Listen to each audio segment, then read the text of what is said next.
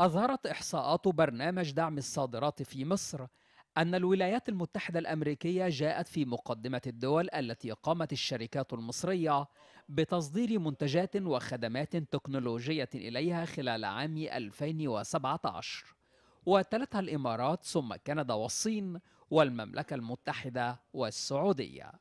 إحنا بنحقق النهارده آه، آه، من كعائد من أو كجزء من الناتج القومي حوالي 3.5 آه، مليار دولار من تكنولوجيا المعلومات وخدمات آه، الإمداد.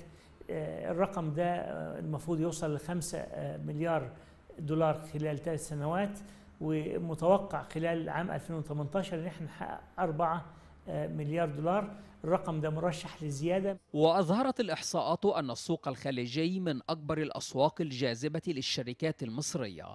لثقة متخذي وصناع القرار في القدرات التقنية واللغوية للشباب المصري والحلول التكنولوجية المبتكرة التي تقدمها الشركات المصرية في دول الخليج العربي. عندنا آه، فرصة واعدة لزيادة آه، انتشارنا في دول الخليج. على سبيل المثال إحنا عندنا النهارده 56 شركة بتقدم آه، خدمات التكنولوجيا والسوفت وير في في الخليج دول دول الخليج هذا العدد مرشح لزيادة وبالتالي مساهمته في عوائد من تكنولوجيا المعلومات دي بتزيد لأن إحنا آه، ال- الأكفأ دول ك- كتيرة خدت ال- ال- النهج ده منها الهند وبتحقق أرقام كبيرة.